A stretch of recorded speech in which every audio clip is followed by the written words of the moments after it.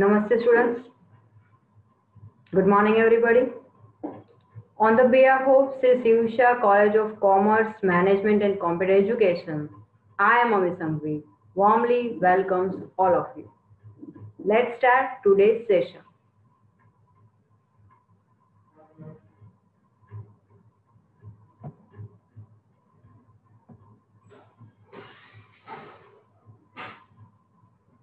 We are continuing online teaching, an initiative of online teaching 2020-21 by the Siusha College.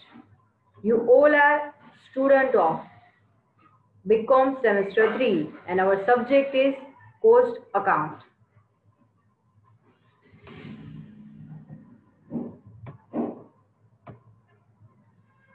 According to new syllabus હવે આપણે unit costing start કરી રહ્યા છીએ ફરી એકવાર સમજાવી દઉં. આજનો દિવસ આપણો ડે ફિફ્ટીન છે, લેક્ચર પંદરમો ચાલુ રહ્યો છે, ચાલુ કન્ટિન્યુ કરી રહ્યા છીએ. એક સિલેબસ કોપી હું મૂકું છું અને હવે પછીના દરેક સેશનમાં સિલેબસ કોપી હું મૂકીશ. અત્યાર સુધી આપણી પાસે ઓલ્ડ ટેક્સ્ટ બુક હતી.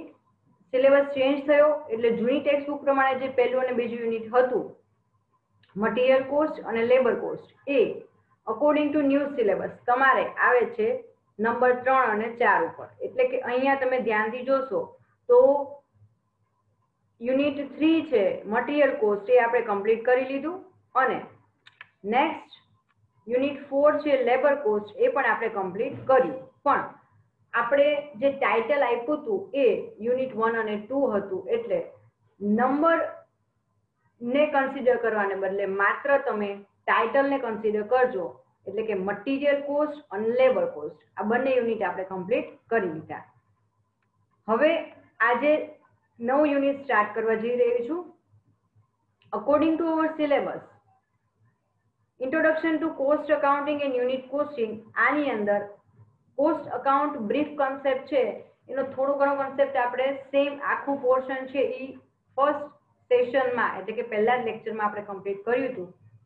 હવે યુનિટ કોસ્ટિંગ હું સ્ટાર્ટ કરવા જઈ રહી છું. એટલે યુનિટના નંબરને કન્સિડર કરવાને બદલે તમે યુનિટ કોસ્ટિંગ ટાઇટલ જે છે એને ધ્યાનમાં રાખજો. તો આપણે અગેન કહું છું કે according to new syllabus unit one number આપવામાં આવેલો છે નવા સિલેબસમાં અને એનું ટાઇટલ છે યુનિટ કોસ્ટિંગ. તો અહીંયા આપણે આજે આ સ્ટાર્ટ કરવા જઈ રહ્યા છીએ.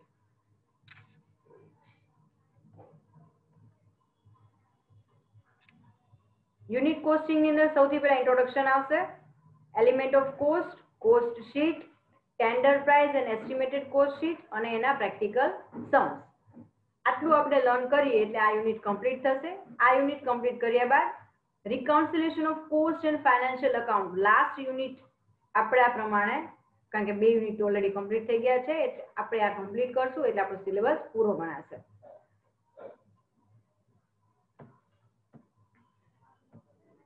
સ્ટાર્ટ કરીએ ઇન્ટ્રોડક્શન થી this is the method of costing this is all about unit costing this is a method of costing by unit of the production where the manufacturer is a continuous one and units are identical અહીંયા manufacturing છે એ continuous base પર ચાલુ રહ્યું છે મતલબ કે એક ઓર્ડર કમ્પ્લીટ થયો સેકન્ડ ઓર્ડર આવી ગયો સેકન્ડ ઓર્ડર કમ્પ્લીટ થયો થર્ડ ઓર્ડર આવી ગયો એટલે મેન્યુફેક્ચરિંગ પ્રોસેસ સતત ચાલુ છે તમારી અને એક યુનિટ છે, અને યુનિટ જે છે આઈડેન્ટિકલ છે, સમાન, એક સરખા ક્વોલિટી વાળા, એક સરખી ક્વોલિટી અને કેરેક્ટરિસ્ટિક વાળા યુનિટ્સ આપણે પ્રોડ્યુસ કરી રહ્યા છીએ.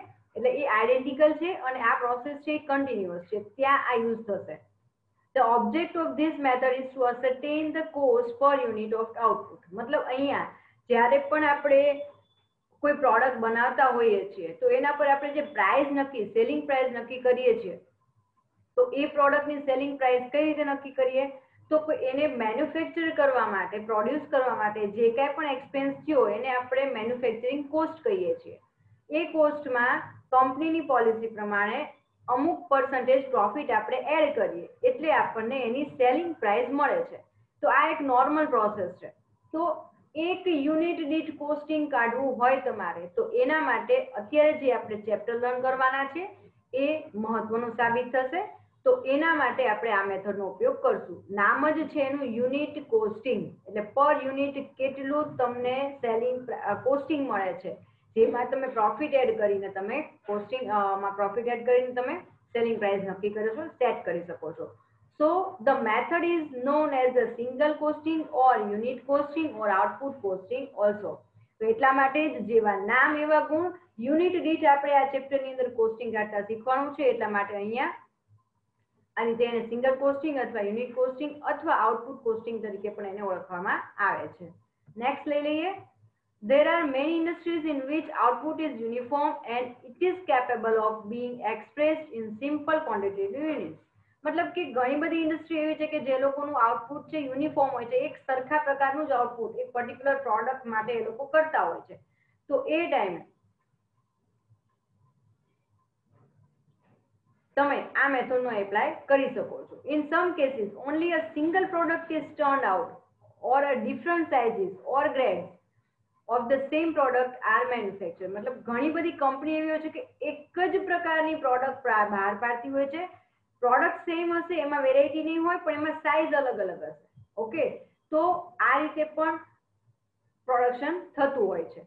એવા ટાઈમે the selection of cost unit present no difficulty in such industry and the complicated method of cost assignment uh, sorry ascertainment is not necessary આવા સમયે તમે બહુ ગૂંચવણ ભરી અલગ અલગ પ્રકારની કોસ્ટિંગ કાઢવાની મેથડ્સનો યુઝ કરવો જરૂરી નથી એવા ટાઈમે તમે માત્ર સિમ્પલ મેથડથી તમે કોસ્ટિંગ કાઢી શકો છો તો આ આવા ટાઈમે આ સમયે the method used in such cases is the unit costing in which the cost of single unit is ascertained તો આવા સમયે સૌથી ઈઝી સરળ સાદી મેથડ પદ્ધતિ જેના દ્વારા તમે કોસ્ટિંગ કાઢશો જે આપણે અત્યારે લર્ન કરવાનું છે તો નેક્સ્ટ લઈ લઈએ હવે કન્ટિન્યુ કરીએ introduction Thus, the object of this method is to ascertain the cost per unit of output, determine to determine the amount of each element which makes up such cost. મતલબ ઈ cost ને નક્કી કરવા માટે related જેટલા પણ expenses છે એનો total કરવામાં આવે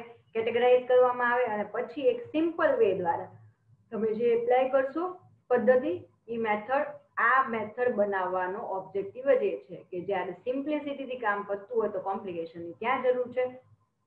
Method is particularly suitable to uh, breweries, dairies, brick making, coal quarries industry, paper mills sugar mills etcetera તો અહીંયા કેટલાક એક્ઝામ્પલ આપેલા છે કે જે ઇન્ડસ્ટ્રીની અંદર સિમિલર પ્રકારની જ પ્રોડક્ટ જ્યારે બનતી હોય છે, આમ તો સેમ એક જ પ્રકારની. તો એમાં તમે આ પદ્ધતિ એપ્લાય કરી શકો છો. Next in all the industry this industry ઉપર જે આપણે ઇન્ડસ્ટ્રીની વાત કરીએ there is a natural cost unit neutral sorry એક પર્ટિક્યુલર યુનિટ છે for example barrel or per litre of milk hundred one thousand bricks a ton of coal a ton of cement, one kilogram of paper, a quintal of sugar and so on. મતલબ એક unit પણ fix જ હશે. કે ચલો એક kilo આ ખાંડ તમે ક્વિન્ટલમાં ખાંડ બનાવી કિલોમાં બનાવી કોલસો છે તો એ ટનમાં જ આવે. ઓકે? તો સિમેન્ટ છે તો એ ટનમાં જ કેલ્ક્યુલેટ થાય તો એનો યુનિટ પણ ફિક્સ હશે. In those industries where only one product is manufacture આ તમામ પ્રકારની યુનિવર્સિટી એવી ઇન્ડસ્ટ્રીઝ એવી છે કે જ્યાં એક જ પ્રોડક્ટને મેન્યુફેક્ચર કરવામાં આવે છે. The whole of the expenditure is usually incurred for one type of product તમામ પ્રકારના ખર્ચા માત્ર ને માત્ર એક પર્ટિક્યુલર પ્રોડક્ટ માટે જ કરવામાં આવી રહ્યા છે. And the maintenance of cost record does not present much difficulty અને આનું જે મેન્ટેનન્સ મતલબ જે સ્ટોક ને બધું મેન્ટેન કરવાનું હોય, તેમાં ક્યાંય કોઈ જાતની ડિફિકલ્ટી હોતી નથી. તો એ સમયે અહીંયા તમે યુનિટ કોસ્ટિંગ મેથડનો ઉપયોગ કરી શકો છો. હવે યુનિટ કોસ્ટિંગ શું છે? તો કોસ્ટ શીટ એમાં આપણે બનાવવાની આવશે. The information direct from financial books is set out usually in the form of the statement is known as a cost sheet તો મતલબ કે તમને normally financial statement it means trading account PNL account and balance sheet એ આપણે ક્યારે બનાવીએ છીએ? At the end of the year okay જ્યારે એની અંદર આપણે બધી જ વસ્તુને સમરી મૂકીએ છીએ. પીએનએલ અકાઉન્ટની અંદર આપણે બધા એક્સપેન્સીસ મૂકશું, તો એક એક દિવસના એક્સપેન્સ નહીં મૂકીએ. આખા વર્ષ દરમિયાન પર્ટિક્યુલર મટીરિયલ પાછળનો ખર્ચો કેટલો થયો તો એ આખો તમે સમરી મૂકશો. તો એ સમરી શેના બેઝ ઉપર પ્રિપેર કરશો? તો એ સમરી પ્રિપેર કરવા માટે તમારે જે તે સમયે જ્યારે પણ એ પ્રોડક્ટનો યુઝ થતો હોય છે તો એનું કોસ્ટ શીટ બનાવવાની આવશે. તો અહીંયા કોસ્ટ શીટ એટલે શું? કોઈ પણ પ્રોડક્ટને રિલેટેડ તમામ એક્સપેન્સીસને જ્યારે એક પેજ ઉપર એક ફોર્મમાં મૂકવામાં આવે છે તો એને આપણે કોસ્ટ શીટ કહીએ છીએ The expenses shown in the financial books are logically classified મેં તમને કીધું એમ ક્લાસિફાઈડ કરીને ત્યારબાદ તમે ફાઇનાન્શિયલ સ્ટેટમેન્ટ એટલે કે પીએનએલ એકાઉન્ટમાં મૂકશો in considerable detail each element of cost being divided in which each element of expenditure is divided by the number of units produced during that period so as to disclose the cost per unit. તો અહીંયા, એ financial સ્ટેટમેન્ટમાં information ક્યાંથી આવશે? આવશે cost sheet ઉપરથી. અને cost શીટમાં પર યુનિટ તમારે કોસ્ટિંગ કાઢવાનું રહેશે. તો ખાસ અહીંયા સૌથી પહેલા અને મહત્વનું જે આપણે બનાવવાનું છે સ્ટેટમેન્ટ જેને કહેવાશે cost sheet It, if the information is set out in form of an account recording the cost incurred, it would be known as a production account or manufacturing account. આજ જ્યારે એક પેજને બદલે તમે ડેબિટ ક્રેડિટ મતલબ કેટલું આવ્યું કેટલું ગયું એ રીતે તમે કેલ્ક્યુલેટ કરીને મૂકવા માંગશો મૂકો છો તો એને પ્રોડક્શન અકાઉન્ટ તરીકે ગણવામાં આવશે અથવા એને મેન્યુફેક્ચરિંગ અકાઉન્ટ તરીકે પણ જાણવામાં આવે છે અહીંયા આપણે અકાઉન્ટ્સની પણ શીટ બનાવતા શીખવાનું છે. Cost sheet may be prepared weekly, monthly or at the same other convenient intervals. મતલબ તમે તમારા અનુકૂળ ઇન્ટરવલને આધારે નક્કી કંપની પ્રોડક્શન હાઉસ જે છે પોતાની જાતે નક્કી કરશે કે અમારે વીકલી બનાવવું છે મંથલી બનાવવું છે ટ્રાય મંથલી બનાવવું છે ક્વાર્ટરલી બનાવવું છે યરલી બનાવવું છે કે સિક્સ મંથલી પોતાને નક્કી કરી શકે છે. it is realisable that besides the total expenditure incurred cost per unit of output in case of each element of cost be ascertained and that of the percentage contribution of each item of expenditure to the total cost of production uh, be indicated તો અહીંયા desirable છે કે અમુક અમુક similar interval બે ચલો fifty percent કામ પતી ગયું sixty percent પૈતું twenty five percent પૈતું fifty seventy five hundred તો એક પ્રોપર ઇન્ટરવલ સાથે આપણે આ વસ્તુ બનાવીએ. Moreover, the cost sheet should provide figures of the previous period for comparison purpose. હવે આપણે ખાલી આ વર્ષની કોસ્ટ શીટ નથી બનાવવાની. આગળ જતા એવું પણ થશે કે લાસ્ટ યર જે છે એના બેઝ ઉપર ભવિષ્યમાં ઓર્ડર આવે છે તો એની એસ્ટિમેટેડ કોસ્ટ શીટ બનાવો. બરાબર? તો એ પણ તમે બનાવી શકશો કે ગયા વર્ષે આટલા રૂપિયા એટલે કે આ એક્સપેન્ડિચર થયો હતો તો એમાં ભાવ વધારો એટલે કે એમાં રાઇઝિંગ જે આવે પ્રાઇસ રાઇઝિંગ એને એડ કરીને આટલા પર્સન્ટેજ નેક્સ્ટ એસ્ટિમેશન આવશે તો એ પણ કરી શકાય છે એડવાન્ટેજીસ લઈ લઈએ As we have seen, due to cost sheet, we are able to study various details relating to the cost of production. આપણે તમામ પ્રકારની ઇન્ફોર્મેશન તે પર્ટિક્યુલર પ્રોડક્ટની કોસ્ટને રિલેટેડ મળી જશે The advantages of preparing cost sheet may be stated as follows. તો જોઈએ આપણે advantages. પહેલો એડવાન્ટેજ લઈ લઈએ detailed information about the total cost of a particular product during a specific time period can be obtained તો તમે કોઈ ચોક્કસ સૌથી મોટો ફાયદો શું છે કે ચોક્કસ સમય દરમિયાન તમે કહેશો ચલો મારે જાન્યુઆરી મહિનાનું જોવું છે તો તમે પર્ટિક્યુલર એ મહિનાની કોસ્ટ શીટ જોઈ શકશો તો પર્ટિક્યુલર ટાઈમ ડ્યુરેશન પિરિયોડિક લેવલે તમે એને પ્રિપેર કરી શકો છો second one The figures of cost of production of current year can be compared with those of the previous. આપણી પાસે વર્ષો વર્ષ સુધી આ વસ્તુ મેન્ટેન કરવાના છે કોર્સ ઓકે તો એટલા માટે અહીંયા તમને દરેક વર્ષની ઇન્ફોર્મેશન તમારી પાસે તો you can easily compare the details okay તો તમે કમ્પેરિઝન કરી શકશો which will clearly show the trend of course જેના પરથી તમને કોર્સનો ટ્રેન્ડ જાણવા મળશે. કે એક્સપેન્સીસ વધી રહ્યા છે, કે કયા એક્સપેન્સમાં તમારે ઘટાડો થયો, કયામાં કેટલા પર્સન્ટેજનું ઇન્ક્રીમેન્ટ થયું ઓવરઓલ પ્રોફિટનો રેશિયો મેન્ટેન થાય છે કે નથી થતો, આ તમામ ઇન્ફોર્મેશન તમને જાણવા મળશે. This help the management in controlling the cost of various product અને આની મદદથી જ મેનેજમેન્ટ નક્કી કરી શકશે અને કંટ્રોલ કરી શકશે કેવી રીતે પ્રોડક્ટને પ્રાઇસને કોસ્ટિંગને કંટ્રોલમાં લેવી. The cost sheet becomes helpful in submitting tender of some important contracts. ઘણી બધી જગ્યાએ જ્યારે કંપની કોન્ટ્રાક્ટ ફિલઅપ કરતી હોય, તો એ કોન્ટ્રાક્ટની કમ્પલસરી ડિટેલમાં એ લોકો તમારું પર્ટિક્યુલર એસ્ટિમેશન માગે છે એ તો તમારે આપવું જ પડે કોન્ટ્રાક્ટ ક્યાંય પણ ફિલઅપ કરવું હોય ટેન્ડર મૂકવું હોય તો તો એ હજી તમારે ઇમ્પ્લિમેન્ટ થયું નથી, તમને કોન્ટ્રાક્ટ મળ્યો નથી, પણ તમારે ટેન્ડર પ્રાઇસ એવી રાખવી પડે કે તમારા કોમ્પિટિટર્સ છે, એના કરતાં તમારી ટેન્ડર પ્રાઇસ મિનિમમ હોય. અને એ મિનિમમ ટેન્ડર પ્રાઇસ એવી હોવી જોઈએ કે જેનાથી તમને પ્રોફિટ તો મળી જાય, તો પ્રોફિટનું માર્જિન પણ મેન્ટેન થવું જોઈએ અને એક્સપેન્સીસ જો કોસ્ટ શીટ બનાવેલી હશે તો તમે એક્સપેન્સીસનું પ્રોપર એસ્ટિમેશન લગાવી શકશો it equally helps in determining the selling price of the product મેં તમને પહેલા જ કીધું કે કોઈ પણ પ્રોડક્ટની સેલિંગ પ્રાઇસ નક્કી કરવી હોય, તો બટ ઓબ્વિયસ છે, તમારી પાસે પર્ટિક્યુલર પ્રોડક્ટની કોસ્ટ હોવી જોઈએ. ધેન તમે કંપનીની પોલિસી પ્રમાણે પ્રોફિટના પર્સન્ટેજ એડ કરો છો એની અંદર, અને ધેન તમે સેલિંગ પ્રાઇસ નક્કી કરો છો. તો અહીંયા આ રીતે જે આપણે નક્કી કરીએ છીએ, એના માટે કોસ્ટ શીટ જરૂરી છે. The preparation of cost sheet will be helpful into management in determining the most profitable product mix as it gives detailed information about the total cost and cost per unit. તો અહીંયા particular પ્રોડક્ટના related તમામ information જ્યારે મેનેજમેન્ટને on hand હોય છે તો એ ફટાક દેખાના main જે ડિસિઝન છે પ્રોડક્ટને રિલેટેડ એ આરામથી લઈ શકશે હવે આપણે જોઈએ કોસ્ટ ક્લાસિફિકેશન આ ટોપિક ઓલરેડી આપણે ડે વનની અંદર એડ કરેલો છે. પણ અહીંયા થોડુંક રિવાઇઝ કરવા માટે મેં ફરી પાછી આ સ્લાઇડ એડ કરી છે. અકોર્ડિંગ ટુ એલિમેન્ટ ડાયરેક્ટ અને ઇનડાયરેક્ટ આ બે કોસ્ટ કેટેગરાઇઝ કરી શકાય છે. According to function factory overhead admin overhead અને સેલિંગ ઓવરહેડ અહીંયા આપણે આ કરવાનું છે. તો આપણા આજના અત્યારના જે યુનિટ આપણે સ્ટાર્ટ કર્યું છે, એમાં આ બે કેટેગરી ખૂબ મહત્વની છે, જે આપણે ડિટેલમાં જોવાનું છે. બાકીની ડિટેલ્સ આપણે ઓલરેડી ત્યારે પહેલા લેક્ચરની અંદર બહુ જ વ્યવસ્થિત ડિટેલમાં સમજાવેલું છે.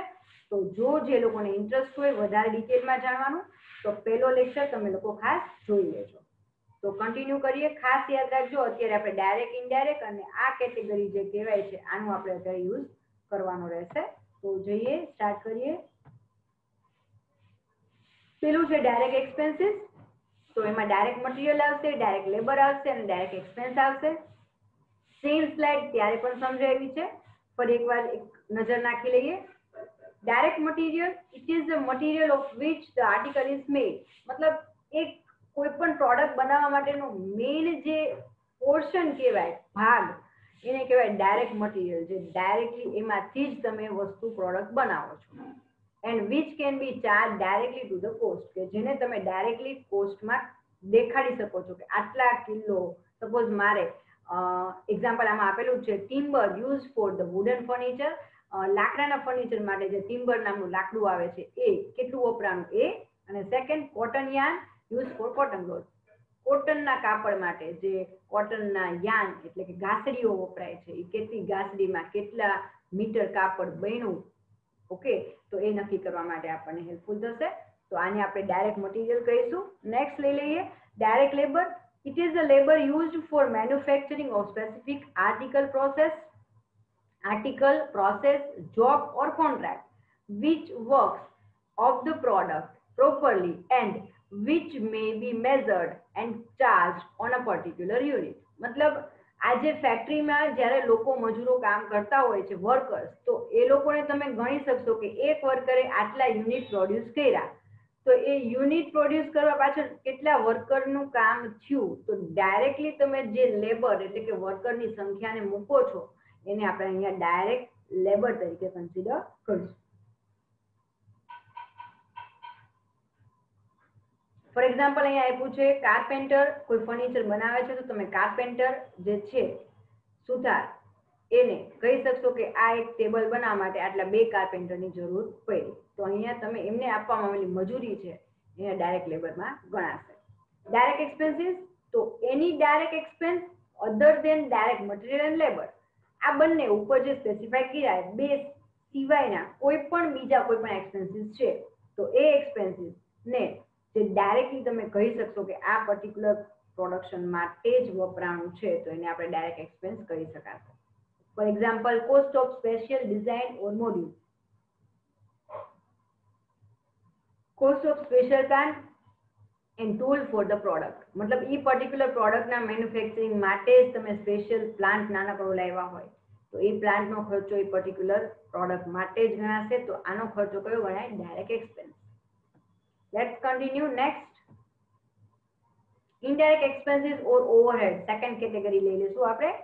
જેને આપણે ફેક્ટરી ઓર વર્ક ઓવરહેડ ખાસ સમજજો. અહીંયા હવે પછીનું આખું જે આ ટોપિક છે ને, એના બેઝ ઉપર જ આખું ચેપ્ટર છે ઓકે તો સેકન્ડ કેટેગરી આવશે ડાયરેક્ટ ના ત્રણ એક્સપેન્સ તમે જોઈ લીધા.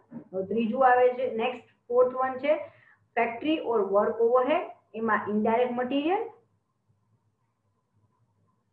ઇનડાયરેક્ટ લેબર અને indirect expenses other indirect expenses એમાં ઇનડાયરેક્ટ મટીરિયલ એટલે શું? તો it is the material which does not form a part of the product એવું મટીરિયલ કે જેનાથી પ્રોડક્ટ બનતી નથી. ફોર એક્ઝામ્પલ રૂમાંથી કાપડ બને, તો એ રૂ થયું ડાયરેક્ટ મટીરિયલ થયું. ઓકે પણ આ એવી વસ્તુ છે મટીરિયલ કે જે પ્રોડક્ટમાં ડાયરેક્ટલી કામ નથી આવતી, પણ ઇનડાયરેક્ટલી ઇન્વોલ્વ થાય છે. But it requires for maintaining the plant that produces the product. For example એક આપણી પાસે ફેક્ટરીમાં મશીન છે. એ મશીનમાં બને છે કાપડનો માલ. કાપડ બને છે. પણ એ મશીનને જ ચલાવવા માટે પ્રોપર ટાઈમે અમુક અમુક સમય એને ગ્રીઝિંગ કરવું પડે, એને ઓઇલિંગ કરવું પડે. તો એના માટે ઓઇલ છે ગ્રીસ છે, એના બેલ્ટ જે આવે છે, આખું જે મશીન છે એને ચલાવવા માટેના બેલ્ટ આવે. એ સિવાય બીજી કોઈ પણ એસેસરીઝ હોય છે. મશીનને સાફ સફાઈ માટેનું કોટન વેસ્ટ જે આવે, બરાબર? તો આ તમામ પ્રકારનું મટીરિયલ વપરાણું તો એ પ્રોડક્ટ માટે જ છે. પણ એ ડાયરેક્ટલી નથી વપરાણું. એટલા માટે એ મટીરિયલ કયું ગણાશે? ઇનડાયરેક્ટ મટીરિયલ ઇનડાયરેક્ટ લેબરની અંદર wages and salaries paid to various persons who are not directly engaged in the production. એવા તમામ લોકો કે જે લોકો ડાયરેક્ટલી મતલબ વર્કર છે એ મશીન પર બેસીને કામ કરશે. પણ વર્કર સિવાયના પણ લોકો હોય છે કે જે ઈ પ્રોસેસમાં ઇન્વોલ્વ હોય છે. ડાયરેક્ટલી નહીં, પણ indirectly example salary pay to the gate keeper of the factory work manager foreman supervisor તો ફોરમેન કે સુપરવાઇઝર પોતે નથી જવાના. મશીનમાં રો મટીરિયલ નાખવા માટે કે પ્રોડક્શન કરવા માટે. એ લોકોનું કામ છે ઓબ્ઝર્વ કરવાનું, ધ્યાન રાખવાનું. તો એ ટાઈમ એ લોકો જો ઓબ્ઝર્વ કરશે કે ધ્યાન રાખશે, તો એમનો પગાર આમાં જ ગણાય. તો એમને આપવામાં આવતું પેમેન્ટ ઇનડાયરેક્ટ લેબર ગણાય નેક્સ્ટ આવે છે other indirect expenses any indirect expense other than the indirect material and indirect labour paid તો આ સિવાયના જે કંઈ પણ અધર ઇનડાયરેક્ટ એક્સપેન્સ છે એને આપણે આમાં ગણી લેશું. Power or fuel such as coal gas electricity water etcetera maintenance rate renewal depreciation of plant આ તો આ તમામ પ્રકારના એક્સપેન્સ છે કે જે ડાયરેક્ટલી ઇન્વોલ્વ નથી થતા, પણ ઇનડાયરેક્ટલી કન્સિડર કરવાના રહેશે. નેક્સ્ટ આવે છે ઓફિસ એન્ડ એડમિનિસ્ટ્રેટિવ ઓવરહેડ તો આ વસ્તુ નવી છે, જે અગાઉ આપણે ડિસ્કસ કરી નથી. તો ફેક્ટરી છે, તો ફેક્ટરીમાં વર્કર કામ કરતા હોય, પણ એ એના માટે રો મટીરિયલના ઓર્ડર આપવાના, કે પછી સેલિંગ માલ તૈયાર થઈ જાય, તો એના પછીની જે પ્રોસેસ છે. તો આ બધી વસ્તુઓ માટે તમારે બીજા સ્ટાફની પણ જરૂર પડતી હોય છે. તો અહીંયા અન્ય બીજી બે કેટેગરી તમારે સમજવાની છે. પહેલી છે office and or administration overhead તો એમાં શું આવશે? તો expenses these are the expenses incurred outside the factory it is related to the management and. Uh, મતલબ કે આ મેનેજમેન્ટ કેવી રીતે કરવું? મતલબ મેનેજમેન્ટ અને એડમિનિસ્ટ્રેશનને લગતા એક્સપેન્સીસ છે અને ફેક્ટરીમાં આ એક્સપેન્સ થતા નથી. એક્ઝામ્પલ તરીકે ઓફિસનું રેન્ટ છે રેટ છે એનો ઇન્સ્યોરન્સ છે ઓફિસનું લાઇટ બિલ આવે તો લાઇટ બિલ, ક્લેરિકલ સ્ટાફ હોય તો એની સેલેરી, પ્રિન્ટિંગ સ્ટેશનરી, અલગ અલગ રિપોર્ટ્સ બનાવવાના હોય તો એના માટે જે તમારે કાગળનો ખર્ચો થતો હોય, કમ્પ્યુટરનો ખર્ચો થતો હોય, પ્રિન્ટરનો ખર્ચો થતો હોય, એનું મેન્ટેનન્સનો ખર્ચો હોય, પોસ્ટેજ, લીગલ ચાર્જીસ, ઓડિટર આવે, ઓડિટ કરે કંપનીનું તો એની ઓડિટ ફી કોઈ પણ પ્રકારના ઓફિસની મિલકતો જે છે એનો ઘસારો, મતલબ કોમ્પ્યુટર લીધું છે ઓફિસમાં તો એનો ડેપ્રી તમે ગણો છો. તો એ આ તમામ પ્રકારના એક્સપેન્સીસ છે, એ ઓફિસ અથવા એડમિનિસ્ટ્રેટિવ ઓવરહેડમાં ગણાશે. સેકન્ડ કમ્પ્લીટ કર્યા બાદ થર્ડ મહત્વનું ઓવરહેડ છે, એ છે સેલિંગ અને ડિસ્ટ્રીબ્યુશન ફોર એક્ઝામ્પલ આજે કંપની ફેક્ટરીનું કામ શું છે? ફેક્ટરીનું કામ છે પ્રોડક્ટ પ્રોડ્યુસ કરવાનું. એ પ્રોડ્યુસ કરી નાખે, પછી એનું કામ પતી જાય છે. એ ત્યાર, તૈયાર થયા બાદ એક જગ્યાએ એને મૂકવામાં આવે છે, જેને આપણે વેર હાઉસ કહીએ છીએ. ગોડાઉન તરીકે ઓળખીએ સારી ભાષામાં કહીએ તો ગોડાઉન. તેમાં આપણો માલ પડ્યો રહે છે. સાથે એક ડિપાર્ટમેન્ટ આપણું છે માર્કેટિંગ ડિપાર્ટમેન્ટ કે જે સતત આપણા પ્રોડક્ટની ડિમાન્ડ ઊભી થાય એના માટે કામ કરતો રહે છે. સેલ્સ ડિપાર્ટમેન્ટ આપણો છે, કે જે સતત પ્રયત્ન કરે છે કે આપણે જે પ્રોડક્ટ બનાવી છે, એ માલ જલ્દી ને જલ્દી વેચે. તો એના માટે કમ્યુનિકેશન કરીએ આપણે. તો એ માટેના એક્સપેન્સીસ જે છે, એને સેલિંગ અથવા ડિસ્ટ્રીબ્યુશન ઓવરહેડ તરીકે ઓળખવામાં આવે છે.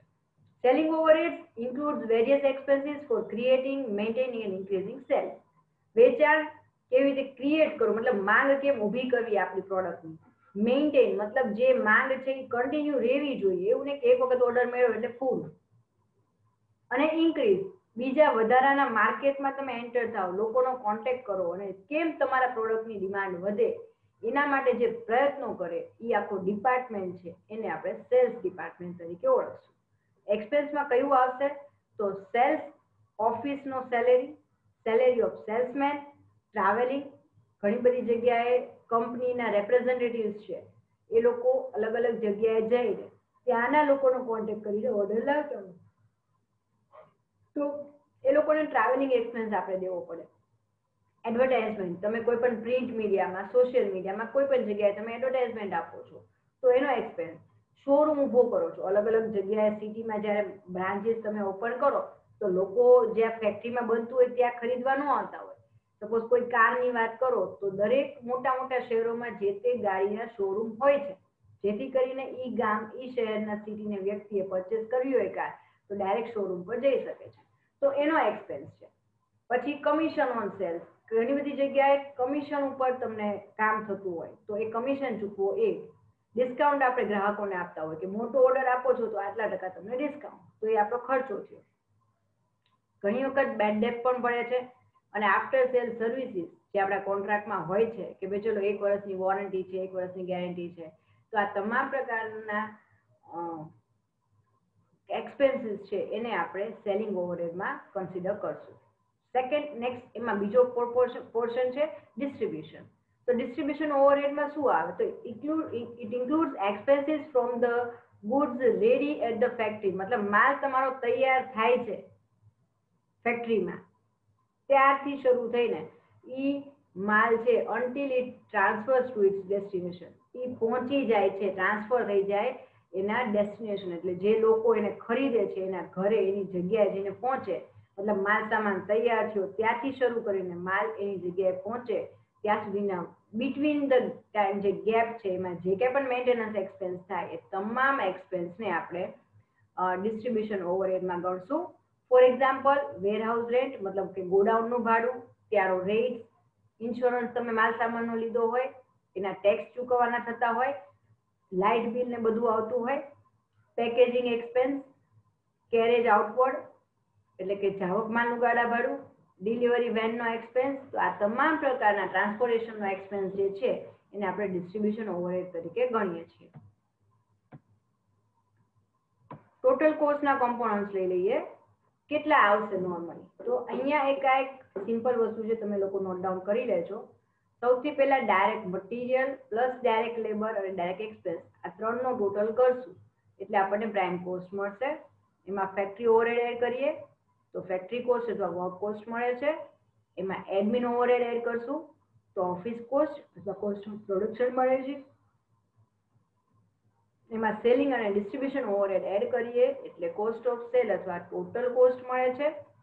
પ્લસ પ્રોફિટ અથવા લોસ એ કાંઈ પણ પ્રોસેસ કરીએ, એટલે આપણને સેલ્સ અમાઉન્ટ અથવા સેલ્સ પર યુનિટ આપણને મળશે.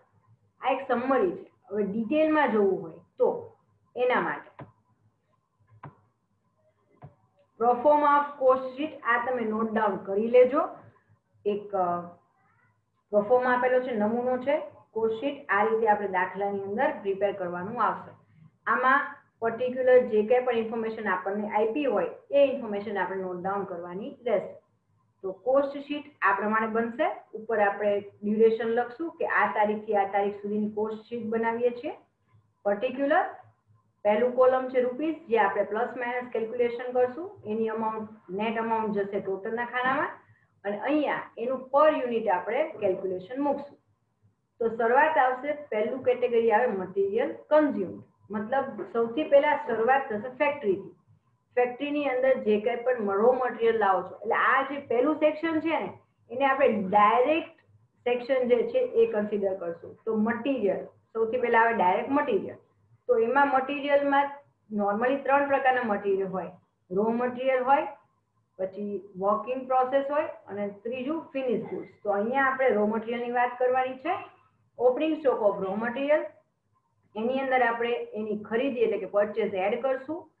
કોઈ વસ્તુ આપણે માલ રિટર્ન કર્યો છે રો મટીરિયલનો તો એ આપણે ડિડક્ટ કરશું. એના રિલેટેડ ખર્ચા છે એ પ્લસ કરવાના. કયા કયા ખર્ચા હોઈ શકે? તો કેરેજ ઇનવર્ડ આવક માલનું ગાડા ભાડું ઓક્ટોય અથવા કસ્ટમ જે આપણે ચૂકવીએ છીએ અને રેલવે બુક ફ્રેટ એટલે કે રેલવેનું.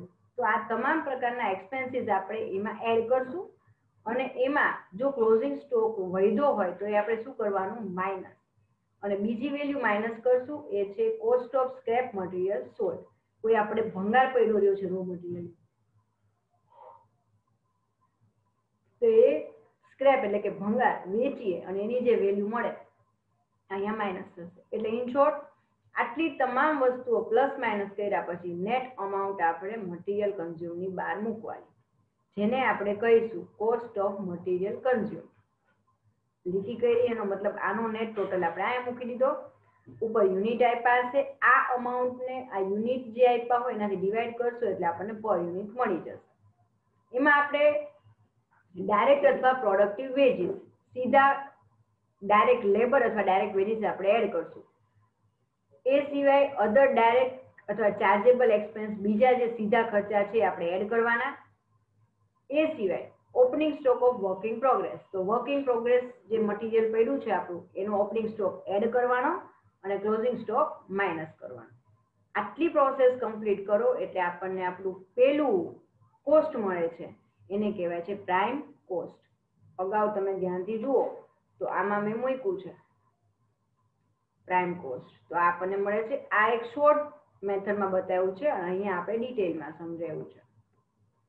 પ્રાઇમ કોસ્ટ મળ્યા બાદ સેકન્ડ હેડિંગ આવશે વર્ક અથવા ફેક્ટરી ઓવરહેડ તો થિયરીમાં જેમ આપણે સમજાય તમામ એક્સપેન્સીસ અહીંયા આપણે મૂકવાના રહેશે.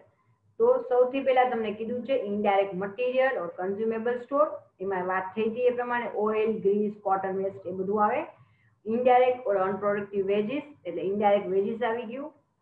અથવા લેબર બંને એક જ ગણાય. એમાં એક્ઝામ્પલ પણ આપી દીધા છે. Salary to wages to gate keeper sweeper foreman supervisor આ તમામ પ્રકારના ખર્ચા છે. સેલેરી ઇનડાયરેક્ટમાં ગણાશે. પછી પાવર ઓર ફ્યુઅલ આપણે જે યુઝ કર્યું છે રિપેર અથવા renewal of plant machinery plant મશીનરીને રિપેરિંગનો જે ખર્ચો હોય એ, એનો ઘસારો. એ સિવાયના ફેક્ટરી એક્સપેન્સ એમાં factory rent factory rates insurance lighting heating એટલે આ બધું જ ઓલરેડી મેં તમને અગાઉ થિયરી સમજાવી, એમાં મૂક્યું હતું. એટલે આ બધું જ જ્યારે એડ કરો છો આનો ટોટલ તમારે અહીંયા મૂકો અને પછી જે નેટ અમાઉન્ટ મળશે, એ ગણાશે વર્ક કોસ્ટ અથવા ફેક્ટરી કોસ્ટ આટલું આઈ હોપ કે તમને સમજાઈ ગયું હશે. નેક્સ્ટ લઈ લઈએ. ફેક્ટરી કોસ્ટ પછી આપણે એમાં એડ કરવાનું આવશે ઓફિસ ઓર એડમિનિસ્ટ્રેશન ઓવરહેડ તો આ તમામ ઓફિસ ખર્ચાની ડિસ્કશન પણ અગાઉના આપણે ટોપિકમાં કરી કે ઓફિસ રેન્ટ રેટ ઇન્સ્યોરન્સ એટલે કે વીમો હીટિંગ લાઇટિંગ એટલે લાઇટ બિલ જે આવે એ salary of clerical and administrative staff ક્લર્કને અથવા સ્ટાફને જે સેલેરી આપે એ સ્ટેશનરી અને પ્રિન્ટિંગનો ખર્ચો પોસ્ટેજ અને ટેલિગ્રામનો ખર્ચો ઓફિસનું બિલ્ડિંગ કે ઓફિસનું ફર્નિચર છે, એનો ડેપ્રી અહીંયા આવશે. ખાસ યાદ રાખજો, ફેક્ટરીના બિલ્ડિંગનો ડેપ્રી ઉપરની ફર્સ્ટ કેટેગરીમાં જશે અને ઓફિસનો ડેપ્રિસિએશન બિલ્ડિંગનો અહીંયા આવશે. એટલે આ તમામ પ્રકારના ઓફિસના ખર્ચા એડ કરીએ, એને આપણે ઓફિસ કોસ્ટ કહેવાશે અથવા કોસ્ટ ઓફ પ્રોડક્શન. અહીંયા મૂકશું. ત્યારબાદ એમાં તૈયાર માલ જે કહેવાય, એનો ઓપનિંગ સ્ટોક પ્લસ કરવાનો, એનો ક્લોઝિંગ સ્ટોક માઇનસ કરવાનો પછી આપણને મળશે cost of production of goods sold last મતલબ હવે આપણી પાસે એવો માલ છે કે જે વેચવાનો છે, આટલા યુનિટ આપણે વેચ્યા. તો એની કોસ્ટિંગ આપણને મળી જેને આપણે સીઓજીએસ કહીએ છીએ. એમાં આપણે એડ કરશું સેલિંગ અથવા ડિસ્ટ્રીબ્યુશન ઓવરહેડ કયા કયા? તો અગેન આપણે પહેલા અગાઉના ટોપિકમાં તમામ ડિટેલ્સ આપણે સમજાવી છે. સેલેરી ઓફ સેલ્સ ઓફિસનો સેલેરી રેન્ટ રેટ ઇન્સ્યોરન્સ અને લાઇટિંગ મતલબ જે ઓફિસ છે સેલ્સ ઓફિસ એના રિલેટેડ તમામ એક્સપેન્સીસ ઓકે ત્યારબાદ આવે છે salary to salesman travelling and conveyance charge તો સેલ્સમેન જે શોરૂમમાં હોય, એનો પણ સેલ્સમેનનો પગાર. અને ટ્રાવેલિંગ કરતો કોઈ સેલ્સમેન છે, તો એનો ટ્રાવેલિંગનો તમામ પ્રકારનો ખર્ચો અહીંયા આપણે મૂકી દેશું. કમિશન ઓન સેલ્સ આપણે જે કમિશન સેલ્સમેનને દેવાનું હોય પગાર સિવાય પણ કમિશન અલગથી આપતા હોય છે એડિશનલ સેલ્સ માટે. એ લોકોને મોટિવેશન મળે એટલે. પછી ડિસ્કાઉન્ટ એલાઉટ આપણે કોઈ પાર્ટીને મોટા ઓર્ડર મળતો હોય તો આપણે એને ડિસ્કાઉન્ટ આપીએ છીએ. એડવર્ટાઇઝમેન્ટ કરીએ, કોઈ પણ પ્રિન્ટ મીડિયામાં તો એનો ખર્ચો. વેરહાઉસ એટલે કે ગોડાઉનનું રેન્ટ રેટ ઇન્સ્યોરન્સ લાઇટિંગ એનો બધો તમામ મેન્ટેનન્સનો ખર્ચો. Packaging charge carriage outward upkeep and maintenance of delivery van તો આ તમામ પ્રકારના એક્સપેન્સીસ જે છે એ આવશે સેલિંગ અને ડિસ્ટ્રીબ્યુશન ઓવરહેડના હેડિંગમાં એ તમામને આપણે સૌથી પહેલા પહેલી લાઈનમાં કોલમમાં મૂકશું. એનો ટોટલ આપણે ઉપર જે કોસ્ટ ઓફ પ્રોડક્શન આવ્યું છે, એમાં એડ કરશું.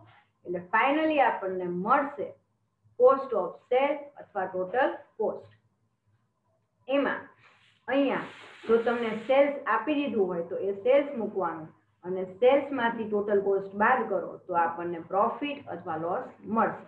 તો આપણા આ જ ચેપ્ટર જે આપણે લર્ન આખું કરવાનું છે, એનું તમામ વસ્તુ આ એક પ્રોફોમા શીટ ઉપર ડિપેન્ડ છે. જો આ શીટ તમને સમજાઈ ગઈ, તો આ યુનિટનું પચાસ ટકા કન્સેપ્ટ તમને સમજાઈ ગયો છે. બાકી આ શીટ ખાસ નેક્સ્ટ પ્રેક્ટિકલ આપણે સેશન સ્ટાર્ટ કરીએ. એ પહેલા આ શીટ કમ્પ્લીટ ગોખી નાખજો મગઅપ કરી લેજો અને યાદ કરીને સમજી લેજો. આમાં ક્યાંય સિક્વેન્સમાં ઉપર નીચે એક્સપેન્સ થઈ જશે ઓકે તો આખું કોસ્ટિંગ તમારું ખોટું આવશે. એટલે ખાસ મિત્રો ફ્રેન્ડ્સ આ પ્રોફોમાં કોસ્ટ શીટ તમારે લખવાની છે. તમારા ફેરબુકની અંદર જ્યારે પણ નોટ ડાઉન કરો, તો બાકીની થિયરી નોટ ડાઉન કરશો તો મને ગમશે.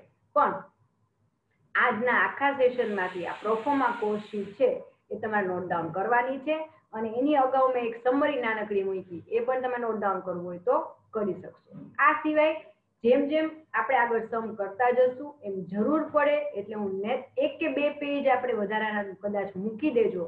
આ પ્રોફોમા કોર્સ બનાવ્યા પછી કે આગળ જતા કોઈ કેલ્ક્યુલેશન માટેની ફોર્મ્યુલા આવે તો એ ફોર્મ્યુલા હું જે તે ટોપિક વખતે તમને હું ત્યારે શરૂઆતમાં એડ કરીશ એ તમામ ફોર્મ્યુલા તમે આ પેજમાં એડ કરી શકો. ફ્રેન્ડ્સ હવે બીજી એક વાત. આઈ હોપ કે તમને આટલું સમજાઈ ગયું હશે. હવે બીજી એક વાત કરવાની છે કે આપણે આપણી જે શિવશાની યુટ્યુબ ચેનલ છે, એની અંદર શરૂઆતમાં આપણે ડેઈલી અલગ અલગ ફેકલ્ટી પોતાના સબ્જેક્ટના વીડિયો અપલોડ કરતા હતા અને એની લિંક આપણે જે તે ગ્રુપમાં મૂકતા હતા. હવે થયું છે એવું કે ઘણા સ્ટુડન્ટ એવા છે કે જેમને શરૂઆતથી કઈ જોયું નથી ને હવે સ્ટાર્ટ કરવા પ્રયત્ન કરી રહ્યા છે. તો હવે દરેક સબ્જેક્ટ વાઇઝ મિનિમમ ચૌદથી પંદર વીડિયો મુકાઈ ગયા છે. તો ચેનલમાં તમે જ્યારે જાઓ કે લિંક પર્ટિક્યુલર ખોલશો, તો તમને એક જ લિંક જોવા મળશે, પર્ટિક્યુલર વિડીયોની, અને એ પણ તમારે ગોતવા પડે છે. તો અમે લોકોએ હવે ફેકલ્ટીઝે એક નવો ઇનિશિયેટિવ લીધો છે કે જેની અંદર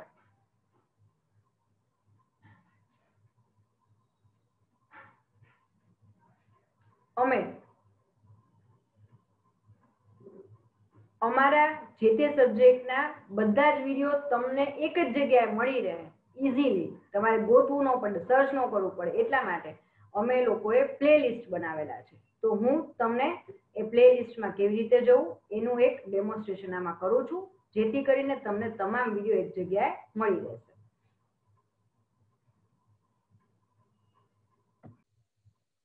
તો ફર્સ્ટ ઓફ ઓલ તમે કોઈ પણ એક વેબ બ્રાઉઝર જે છે અત્યારે મેં ગૂગલ ક્રોમા યુઝ કર્યું છે. તમે કોઈ પણ વેબ બ્રાઉઝરમાં જઈને સૌથી પહેલા યુટ્યુબ સ્ટાર્ટ કરી દેવાનું. અહીંયા મેં યુટ્યુબ ડોટ કોમ છે, એની વેબસાઇટ ઓપન કરી નાખી છે. હવે ત્યાં અહીંયા આપણને સર્ચ બાર મળશે. ત્યાં આપણે ઉષા કોલેજ વઢવાની આમ લખીને તમારે સર્ચ આપવાનું રહેશે. આટલું આપ્યા બાદ અહીંયા આ જે ફર્સ્ટ છે એ આપણો કોલેજનો જે લોગો છે એ આવી જશે. એટલે આ આપણી કોલેજની યુટ્યુબ ચેનલની લિંક છે. એના પર તમે ક્લિક કરી દો. એટલે તમને ડાયરેક્ટ પર્ટિક્યુલર એક વિડીયોની લિંક નહીં મળે. આખી આખી આપણી ચેનલની લિંક તમને આ મળી જશે. હવે આની અંદર તમે અહીંયા જુઓ છો તો ઘણા બધા, લગભગ પાંચસો થી છસો અલગ અલગ સબ્જેક્ટના ટોટલ આપણે વીડિયો મુકાઈ ગયા છે. હવે આની જગ્યાએ તમે પર્ટિક્યુલર વીડિયો સર્ચ કરો. એની જગ્યાએ અમે લોકોએ શું કર્યું છે? પ્લેલિસ્ટ તો અહીંયા પ્લેલિસ્ટમાં ટેબ પર ક્લિક કરવાનું તમારે. એટલે અહીંયા આપણને તમામ પ્રકારના પ્લેલિસ્ટ મળી જશે. હવે મારા સબ્જેક્ટની વાત કરું, તો અહીંયા સર્ચ પર ક્લિક કરશો તમે. એટલે ત્યાં બીકોમ સેમ થ્રી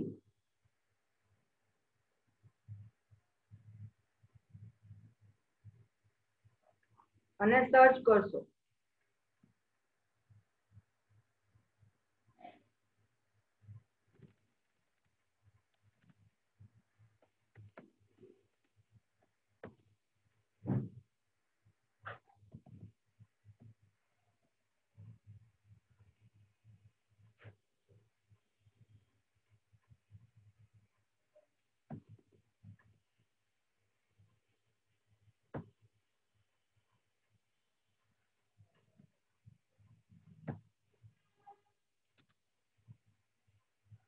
તો અહીંયા તમને બીકોમ સેમેસ્ટરથી કોસ્ટ અકાઉન્ટ એના વીડિયો તમને જોવા મળે છે.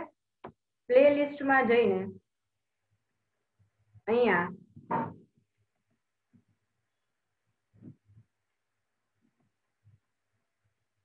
BCom semester three cost account by professor Amit Sanghvi આ આપણને પ્લે લિસ્ટ આપણું મળી જશે. એના ઉપર તમે ક્લિક કરશો. એટલે આપણા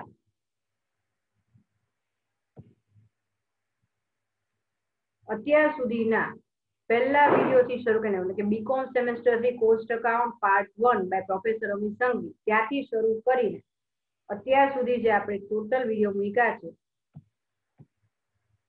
ફોર્ટીન અને અત્યારનો અત્યારનો જે વીડિયો મૂકીશ, એટલે કે ફિફ્ટીન પંદરે પંદર વિડીયોનું લિસ્ટ તમને back by back one by one તમને એકી સાથે જોવા મળશે. તો આઈ હોપ કે હવે તમે લોકો પરીક્ષાની તૈયારીમાં લાગી જશો. અને આ જ રીતે જે મારા સબ્જેક્ટનું તમને દેખાડ્યું એમ બધા જ સબ્જેક્ટનું તમે પ્લે લિસ્ટમાં જઈને સર્ચ કરશો તો તમને બધી જ વિગત એકી સાથે જોવા મળશે. જેથી કરીને બેક ટુ બેક તમે સમ કેલ્ક્યુલેટ કરી શકો. આ સિવાય કોઈ પણ પ્રકારની ડિફિકલ્ટી હોય તો તમે અમારા વોટ્સઅપ નંબર ઉપર મેસેજ કરી શકો છો. અમે લોકો મેક્સિમમ પ્રયત્ન કરશું કે તમારા ડિફિકલ્ટી પ્રોબ્લેમનું સોલ્યુશન લાવી okay have a great day stay safe stay home